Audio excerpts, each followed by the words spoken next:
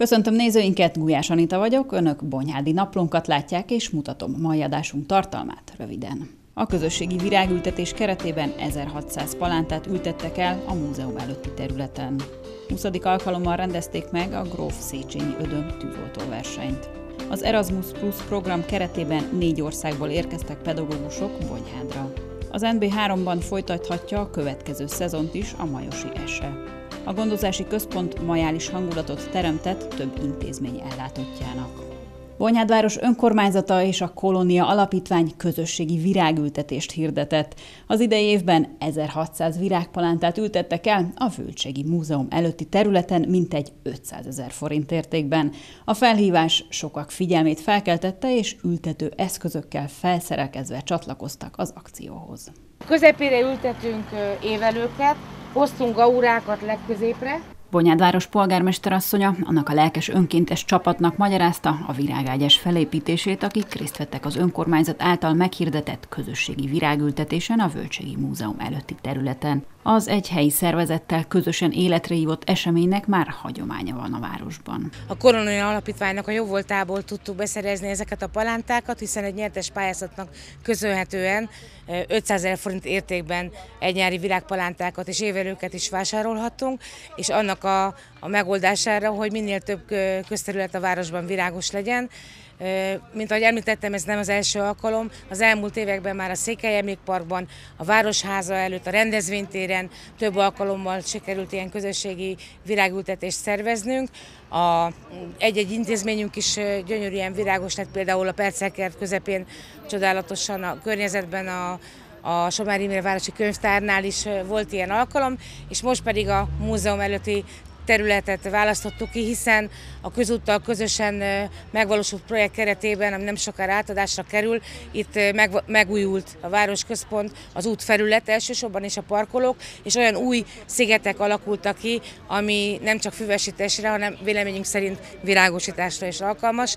Ezért gondoltuk azt, hogy idén ezt a programot a múzeum előtti területen fogjuk megszervezni. Örülök annak, hogy vagyunk egy páran, lehetnénk egy kicsit többen is, de talán be tudjuk ma fejezni, és egy olyan szép és rendezett eh, területet fogunk ezettől látni itt ezen a területen, ami minden bonyhádinak a szívét megmelengeti majd.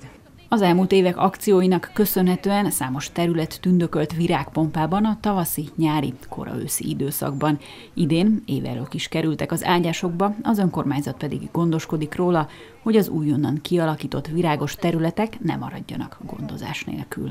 Kétféle egy nyári palántát ültetünk most, ez úgynevezett büdöskér, de sokkal szebb és sokkal jobban bírja a, a, a nyári megpróbáltatásokat, a nyári időszaknak a viszontagságos időjárását, mint ahogy azt a neve illetné, illetve begóniákat, fehér és piros begóniákat, és néhány év előtt is elhelyeztünk az ágyások közepébe, annak érdekében, hogy azok ugye évről évre díszíthetik majd a teret, egyre nagyobbak lesznek, és akkor körülötte pedig cserélődnek majd évről évre az, az egynyári palánták. Minél többször csináljuk, minél többen kaphatnak majd kedvet ezentúl, bízom benne, hogy következő alkalommal sokkal többen leszünk. A város közepe egyébként is azt gondolom, hogy, hogy ilyen szempontból rendezett, és az elmúlt években azért nagyon sok olyan virágtartó állványt is készítettünk, amelyek most van pont a váltás, hiszen az eddigi gyönyörű árvácskák azok most már kikerülnek és jönnek az egynyári palánták. A hét folyamán folyamatosan a Bonikom dolgozói fogják a meglévő állványzatokat, illetve olyan közterületeket, ahol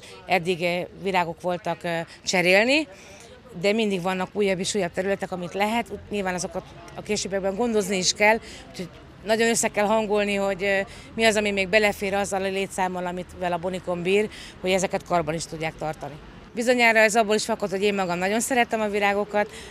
Remélem, hogy a körfogalomban például sokaknak az örömére szolgált, hogy a kedvenc tulipányaimat tudtuk beöltetni ősszel, mert ez volt az ötlet, és úgy, úgy gondolom, hogy ez nem csak nekem, hanem a legtöbb lakosnak tetszett. Bízunk benne, hogy a következő alkalmakkal is olyan fo színes foltokat tudunk kialakítani a városban a kolónia alapítványal közösen, ami mindenkinek az örömére szolgál. Rendszeresen kell locsolni, ugye a nyári időszak az egy nagyon száraz időszak, vannak gyakorlatilag napok, amit csak arra fordítanak. Ugye nem sokára megérkeztek már a muskátlik is, amit hagyományosan a Városközpont kandelábér helyezünk ki, ezek is néhány napon belül kihelyezésre kerülnek. A növényekről való gondoskodásra nagy hangsúlyt fektet idén is a település városüzemeltető cége, a Bonikom Kft.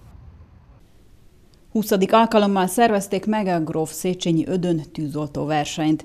A megmérettetésen a lányok mezőnyében a házigazda Bonyhádi futótűz elnevezésű csapat bizonyult a legjobbnak, míg a fiúknál bronzérmet szerzett a házigazda tűzcsárkányok csapata.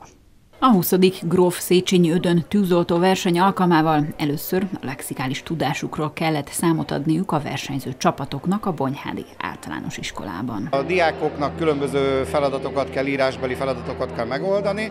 Első feladatsor Gróf Széchenyi Ödön életéről volt az első feladatsor.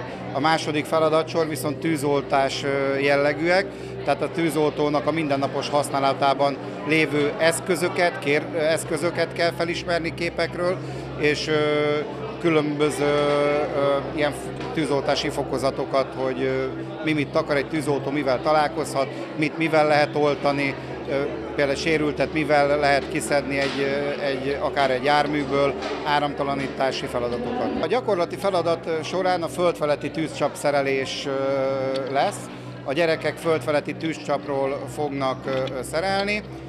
Kettő darab B-tömlőről, négy darab C-tömlő, és kettő darab sugárcső. A feladat az úgy indul, hogy a gyerekek föl vannak sorakozva a föld alatti tűzcsap mögött, onnan lesz a rajt, föl, ott kell összecsatolják, majd úgy kihúzzák, és akkor lesz vége a versenynek, amikor mindkettő sugárcsőből a víz megjelenik. Elkészülni, rajt! Hajrá, fiúk! Hajrá, fiúk! Hajrá, fiúk! Hajrá,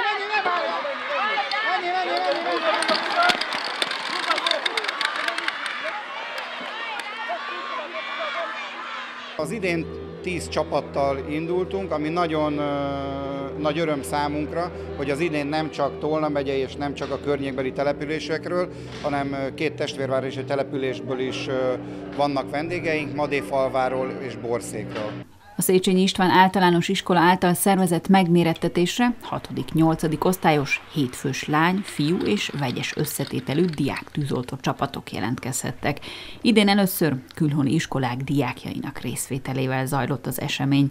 Bonyád városának testvértelepülésén, Madéfalván a diák tűzoltó csapatnak eddig nem volt hagyománya. Rollannak a felkérésére állítottunk össze egy tűzoltó csapatot, de úgy gondolom, hogy ez lesz az, az, az a pont, amikor el fog indulni, hiszen egy nagyon lelkes csapattal vagyunk itt, és ha hazamegyünk, biztos, hogy egy, egy olyan löketet tudunk adni az iskola, az többi iskolás kollégáknak, hogy, hogy ebből el fog indulni, mert már nagyon szerettük volna régebben indítani ezt, tehát nem jött össze, de valószínű ez a indító pont, amikor egy jó csapat és a, a Madéfalvi iskolások is be fognak tudni csatlakozni.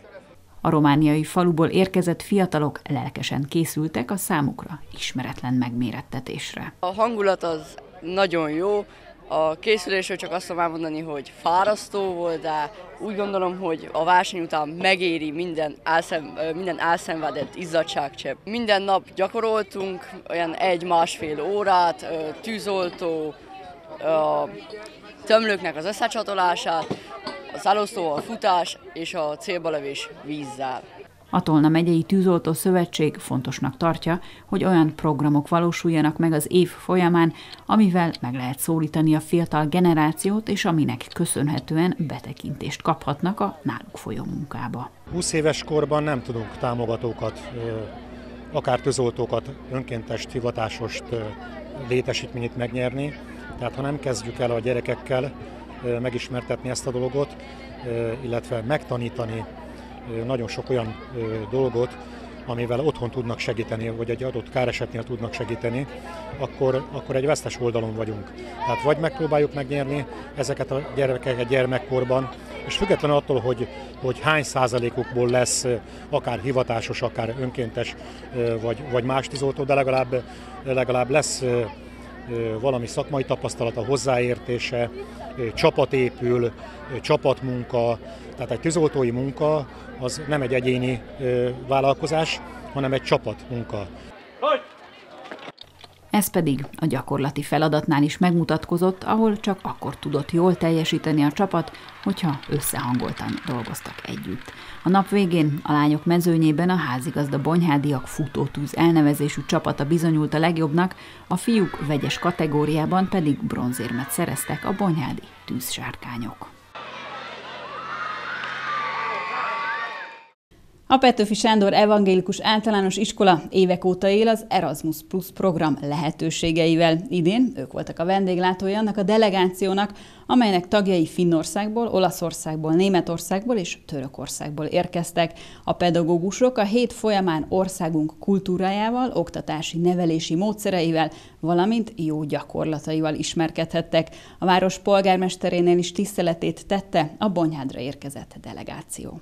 Filóné Ferenc Ibolya fogadta és köszöntötte az Erasmus Plus program keretében Bonyhádra érkezett pedagógusokat, akik egy hetet töltöttek el a településen. A polgármesterasszony bemutatta nekik a várost, beszélt annak múltjáról és fejlődéséről.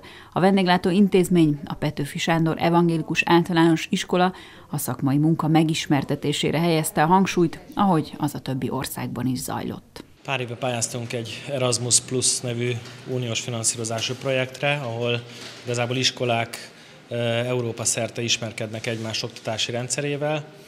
Ez a program elkezdődött kb. három éve, aztán közben a pandémia, egy kicsit elcsúsztattuk, tehát igazából ennek már vége kéne legyen, de most vagyunk a végénél. Öt ország vesz részt benne, Finnország, Németország, Olaszország, Törökország és Magyarország és ez az utolsó stáció, ez az utolsó találkozási pont, most a Magyarországi, eddig az összes többi nemzetnél már jártunk, és ismerkedhetett különböző kollégánk az ottani oktatási rendszerekkel, ahonnan rengeteg tapasztalatot tudtunk elhozni. Tehát azt gondolom, hogy egy hihetetlen értékes programról van szó, ami nem csak abban ö, attól fontos, hogy megismerjük egymás oktatási rendszerét, hanem a kultúráját, szokásot, tradíciókat. És azt gondolom, hogy az ember, amikor nem csak a médiából tájékozódhat bizonyos országról, hanem saját szemével megnézheti, hogy mi történik ott, akkor az az igazi. A négy országból érkezett pedagógusoknak az egyhetes program alkalmával nem csak az iskolai oktatásba sikerült betekintést nyerniük. Az általános iskolában és a gimnáziumban is megnézhetnek órákat, illetve látogatnak óvodát is, tehát az oktatási rendszer megismerése, ezen kívül Bonyhádon megnézik az Ermelvonyics kápolnát, a kúriát, a múzeumot, tehát Bonyhádot is megismerik, illetve a környékről Siklósvárát is megnézhetik, illetve hát Pécs nyilván azért török emlékek is vannak ott, azt is beterveztük programként. Az oktatási rendszereknek rendeketek statisztikája van, mi milyen szintű. Mi azért tudjuk, hogy a Finnországit nem véletlenül vettük be ebbe a kapcsolatba, rengeteg ismeretet hoztam onnan, amit az iskolámban is kamatoztattam. Tehát nem csak pedagógiai, hanem felszerelésbeli dolgokat is be tudtam vinni az iskolába, amit átvéve bízom benne, hogy a saját oktatási rendszerünk javul. Ez egy példa. Minden nemzetnél máshogy néz ki az általános iskola, hogy meddig tart, hogy miért van ilyen struktúráltsága, hogy mekkorák az osztályok, milyen órákat tartanak, hány órát töltenek a gyerekek. Magyarországi rendszerben azt látom, hogy meglepődten nézik, hogy Ugye országosan a nagycsaládos kedvezmények, meg támogatások milyen szintűek. Önmaga az, hogy ingyenes az oktatás, ingyenesek a tankönyvek, hogy óvodában ingyenes az étkezés a nagycsaládos gyerekeknek, de akár az általános iskolában is 50%-ot fizetnek. Tehát ezek a jóléti nagycsaládos intézkedések milyen szintűek, ezekből sok tippet tud ellesni egy ország. Az óralátogatások alkalmával igyekeznek a legkevésbé megzavarni az adott osztály tanulási folyamatát a vendégek. Finnországban például mi is rengeteg órát látogattunk, ahol nem feltétlen foglalkoztak velünk, ott szokás az, hogy mennek. Én azt gondolom, hogy ennél jobb nincs, amikor megnézhetjük, beleláthatunk egy kicsit külsősként. Törökországban, Olaszországban inkább ránk voltak a gyerekek nagyon kíváncsiak, és nekünk elő kellett adni valamit Magyarországról, stb.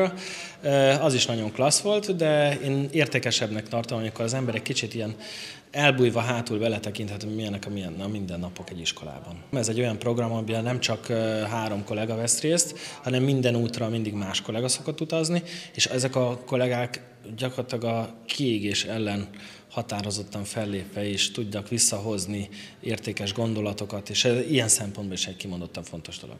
A Finnországból, Olaszországból, Németországból és Törökországból érkezett pedagógusok számára színes és változatos programot állított össze a házigazda Petőfi Sándor Evangélikus Általános Iskola.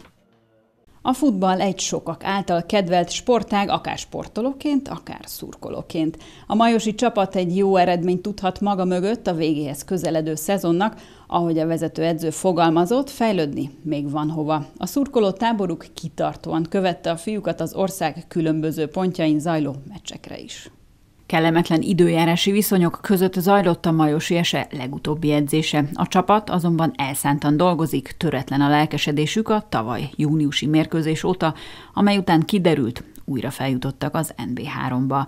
A végéhez közeledő tavaszi szezonban is nagy lendülettel megy a csapat előre. Amíg a vezetőedző a feladatokat állította össze a pályán focistáinak, addig a belső védő elárult a stábunknak, mennyi munka van a csapat mögött. Azt gondolom, hogy egy nagyon hosszú szezonon vagyunk túl. Ugye a tavalyi megy egyes bajnokság megnyerés után viszonylag kevés időnk volt pihenni a nyáron, és így egy volt egy elég jó felkészülésünk, ami az elején meg is mutatkozott.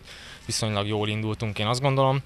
Mm, sajnos utána jött egy hullámvölgy, egy kicsit gödörbe kerültünk, ugye hosszú időn keresztül nem sikerült nyerni, de itt a végére ismét sikerült felpörögni. Én azt gondolom, hogy ez annak köszönhető, hogy rengeteg munkát raktunk bele ebbe az egészbe, és hála Isten a srácok is olyanok egyte egyik, aki szeret dolgozni, szeret itt lenni, és hála Isten egy nagyon jó közösség alakult. Meg volt mögötte egy támogatás az elnökség és a tulajdonosok részéről is, és nem utolsó sorban a szakmai munka is ott volt a János Szabi és a Kardos Ernő személyében, és persze a kapusedző János Gergő, valamint Kelemen Krisztián erőléti edző és Illés Balázs Gyúró munkája is elengedhetetlen volt ahhoz, hogy eléri a majosi csapat a kitűzött célokat. Ennek az egységnek köszönhető nagyjából minden, nagyon-nagyon jó közösség és egy nagyon-nagyon jó közeg van, közeg van itt a csapat és az Egyesület mögött. Úgyhogy én úgy gondolom, hogy egy sikeres szezon zártunk mindenképpen. A bennmaradással feltettük a pontot az íre, úgyhogy egy sikeres szezonnak értékelem, ezt remélem, hogy jövőre is sikerül ezt folytatni. Minden mes nagyon nehéz volt, nagyon-nagyon sok jó ellenféllel találkoztunk, és, és azt gondolom, hogy itt friss feljutóként nem beszéltünk olyanról, hogy könnyű meccs, úgyhogy igazából végig küzdöttük az összeset, néha sikeresebben, néha kevésbé, volt ahol szerencsénk volt, volt ahol nem. A csapat azonban nem dőlt hátra, még kettő meccs vár rájuk a tavaszi szezon végéig, azokon is a legjobb formájukkal szeretnének majd bizonyítani a pályán. Egy biztos, a majosi csapat elérte a célkitűzését, bent maradt az NB3-ban. Ez azért egy nagyon nagy dolog ennek a kis falunak az életében, tehát ilyet itt ilyen még nem volt. Itt az az első, hogy sikerült NB3-ban bemaradni ennek a csapatnak. Úgyhogy nyilván ez egy nagyon nagy siker, úgyhogy mindenki nagyon örült. Igazából beleraktuk a munkát, úgyhogy, úgyhogy ez ennek köszönhető, hál' Istennek. A vezetőedző elárulta a csapat összetartása és az elszántsága elengedhetetlen ahhoz, hogy megvalósítsák célkitűzéseiket. Én tavaly akkor egy pécsi újságírónak lenyilatkoztam, hogy én azért szeretnék maximalista ember lévén egy biztos bemaradást uh, kitűzni magamnak is, meg a csapatnak is. Ugye ez abszolút sikerült, hiszen az egész szezon alatt nem voltunk soha kieső helyen és úgy gondolom ez mindent elmond, hogy egy hónappal a bajnokság előtt ö, biztos bennmaradó a csapat. Egy bőkerettel indultunk neki, azért a fiatal szabály miatt kellett 3-4 2004-es játékos, 25 fővel indultunk neki.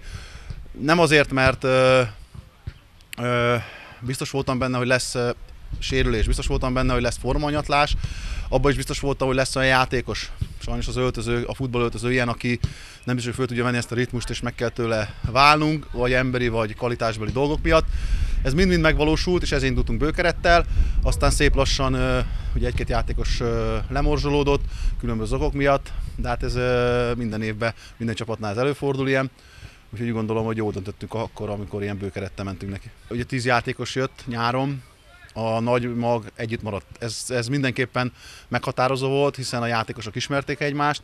Ez a, ez a kohéziós erő, amit az öltözött képviseli, ez nagyon-nagyon sok pontot hozott, főleg hazai pályán, tehát ha hazai pályán ötödik lettünk, ez, ez szenzációs teljesítmény, az utolsó öt mérkőzést megnyertük, egy gólt kaptunk, ez mind az öltözőnek és a kohéziónak az eredménye, és ezért volt fontos az, hogy a saját játékosok, akik a bajnoki címben részt vettek, együtt tudjanak maradni. Nyilván kellett igazolás, én úgy gondolom az igazolásaink 70-80%-ba ültek. Nyilván ez Lutri, mert van olyan igazolás, aki ez mindig is lesz ilyen a szezonban, átigazás szezonban, aki nem biztos, hogy megüti majd ezt a szintet, de hát ez benne van a futballban, ilyen is volt sajnos, úgyhogy összességében azt gondolom, ez így pozitív. A csapat utóbbi időszakára határozottan a fejlődés a jellemző. Úgy gondolom, hogy a majosi futballnak ez az utolsó két év, ez a minden idők legsikeresebb két éve. Nyilván megfogom, tisztában vagyok a képességekkel. Előre kellett lépni mindenbe, tehát ugye az megye egybe játszottuk egy olyan játékot, hogy mi tudtunk dominálni. Nálunk volt a labda végig szinte, itt az NBA 3 ez megfordult, és második szándékból kellett játszanunk, ami azt jelenti, hogy az ellenfélnél volt többet a labda, nekünk kellett második szándékba játszani, de előre kellett lépni a labdabirtoklásba, ahogy említette, technikailag is, taktikailag is sokat fejlődött a csapat, de még mindig van rengeteg olyan dolog, amivel előre kell lépni. Van hiányérzetem is, úgy gondolom, egy 7-8 pont még mindig benne maradt a csapatba, de nyilván van vissza két mérkőzés, ezt meg lehet szerezni. Előre lépjünk mindenbe, kell változtatni. Legfőképp a, úgy gondolom ez az MB3 ugye inkább profi osztály, mint amatőr. Sőt, én azt gondolom ez profi osztály, így belekostolva. Itt komoly profi csapatok ellen játszottunk, ezért nekünk is a magánéletbeli dolgokat még profibba kell tenni, profib gondolkodássá kell rakni a játékosokat. Ez beleértve az életvitelt, a hozzáállást, az edzés munkától kezdve a magánéletbeli dolgokat még profibban kell. És azt mondtam a srácoknak az öltözőben, nem elég csak ebbe a másfél-két órába ide koncentrálni edzésen, a magánéletben is profibban kell viselkedni. Akkor úgy gondolom, még előre tudunk lépni. Szakmailag is ez rám is vonatkozik, még többet kell dolgoznom, még többet kell berakni, bár ugye sokszor nekem is a, az erőm véges, hiszen sokszor 8 órát foglalkoztam nap, napi szinten a futballal, de még többet kell beraknom, hiszen ez az év úgy gondolom, ami, lesz, ez még nehezebb lesz, hiszen most már ránk fognak készülni a csapatok. Tudják azt, hogy a Majos nem lehet elintézni, csak úgy, hogy ez kieső csapat lesz. Most még nehezebb lesz, hiszen mindenki azt mond, gondolja, hogy hát igenis a Majos nem fog készülni. Nekem van egy elméletem, van egy maximalizmusom, ezt próbáltam átadni a játékosnak, de én úgy gondolom, mindent összevetve ez a játékosok, a szakmai vezetés és a vezetők részéről sikeres év volt, és itt szeretném is megragadni az alkalmat, hogy már százszor elmondtam, hogy ez, ez, ez nélkül, vagy ez csak én miattam nem működött volna. A játékosok nélkül nem működött volna. Itt nagyon nagy szerepe volt a János Szabinak, a háttérmunkába, nem is tudom mekkora melót végzett, illetve nem mellékesen a vezetők, hogy mindent megteremtettek ezen a szinten, ez szenzációs, tehát nyilván Bonyhád már városa is mögöttünk állt, tehát ez, ez az egész egy kohézió, ez így összeadott, és ezért lett egy siker. A Majosi Ese köszönetét fejezi ki szponzorainak és szurkolóinak is, akik hűségesen támogatták őket az egész szezon alatt. Nyilván a szurkoló mindig ugye olyan, hogy a legtöbbet akarja. Ezt nem tudjuk meg mindig megvalósítani, tehát nem tudunk mindenkinek a szája íze szerint futballozni, de minden idegenbeli meccsünkön minimum 20-30-an ott voltak, tehát meg is lepőt egy-két csapat, hogy hú, nektek ennyi szurkolótok van. A hazai pályán pedig tehát szenzációs az, hogy tehát országos szinten is azért több száz ember kijön. Hát a tavalyi osztályról nekem meg az egyik legnagyobb élményem, tehát több mint ezer ember itt volt, úgyhogy csak parád és szuperlatívuszokba tudok beszélni a szurkolókról tényleg. A következő mérkőzésre május 14-én 11 órakor Újpesten kerül sor, utána pedig hazai pályán Ceglét csapatát fogadja majd a Majosi Ese. A gondozási központ majálisozni invitálta az idősek klubjának tagjait, az idősek otthona lakóit és a fogyatékkal élők nappali intézményének ellátottjait is. A délelőtt folyamán a jó hangulaton kívül igazi majálisokra jellemző ételekkel készültek vendégeiknek a szervezők. Bonyhád városának polgármesterasszonya is támogatólag áll a kezdeményezés mögé. A gondozási központ majálisa több szociális intézmény ellátottjának részvételével zajlott idén, erre még nem volt példa Bonyádon, tudtuk meg a központ vezetőjétől. Nagyon sok negatívum ért bennünket a téli időszakot követően, és úgy gondoltuk, hogy a szociális területet egy kicsit föl kell rázzuk, ezért támadt az az ötletünk, hogy a nappali ellátás idősek klubja mellett az idősek otthona lakóit és a fogyatékkal élők nappali intézményét is elhívjuk egy közös rendezvényünkre. Májusi hónap a majálisról szól, mindenhol majálisokat rendeznek, nekünk erre kevésbé van lehetőségünk, így úgy gondoltunk, hogy egy ilyen szociális majálist fogunk megvalósítani, a sült kolbász, a virsli, a palacsinta, a waffel mind ez, ez képezi a mai menünket, illetve a sok-sok limonádé, amit a kolléganőim készítettek el. És amelyre nagyon nagy szeretettel várjuk azt a 110 meghívottat, akinek elküldtük a meghívónkat. Nagyon fontosnak tartjuk a közösségfejlesztést. Kisváros vagyunk, de nagyon jól működik Bonyhádon az együttműködés. Ezekkel az, intézményekkel mi napi szinten együttműködünk, de hogy ne csak a munka részét tapasztalhassák az ellátottak, hanem hogy egy kicsit együtt legyenek, beszélgessenek, lássák át, hogy kinél, melyik intézménynél milyen problémakör jelenik meg, és egy kicsit a felszabadultság lehessen a mai mérvadó. Ebből pedig nem volt hiány. Önfelett hangulatot teremtettek a szervezők gondozottjaiknak, akik örömmel fogadták el a meghívást. A település önkormányzata is támogatólag áll a gondozási központ rendezvényei mögé.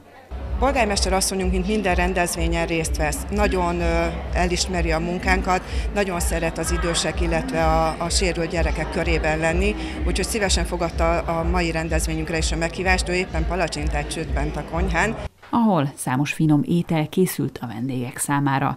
Mit sem ér a majális sült kolbász nélkül, így a hamburger mellé az is került a tányérra.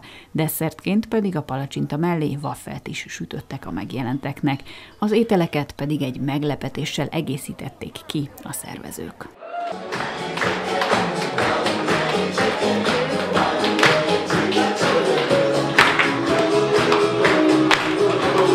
Nagyon jó érzés adni és amikor benne van valamiben a szívünk, lelkünk, tehát azt ők is érezni fogják az ellátottak, hogy ez nekik szól, róluk szól, értük szól, és ezek nagyon fontos dolgok, és hát nekünk, a csapatunknak ez pedig egy felüdülés, hogyha a napi munkavégzést követően az időnket nem sajnálva, föláldozva, a, családunktól veszük el az időt, de megéri, mert, mert tényleg így lehet egy jó csapatot alakítani, formálni, és a miénk egy nagyon jó csapat, és én köszönöm nekik, hogy ilyen csapatban dolgozhatok. A meglepetés produkciót hatalmas tapsal és hálás tekintetekkel köszönték meg az idősek és a fogyatékkal élők.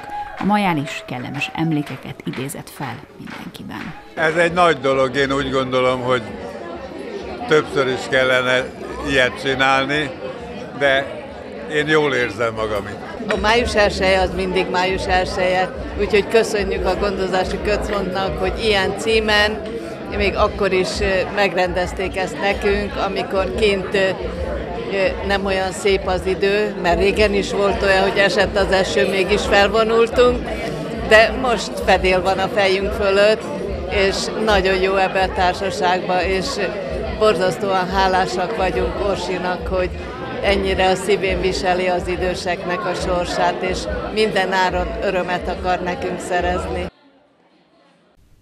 Köszönöm figyelmüket, viszontlátásra!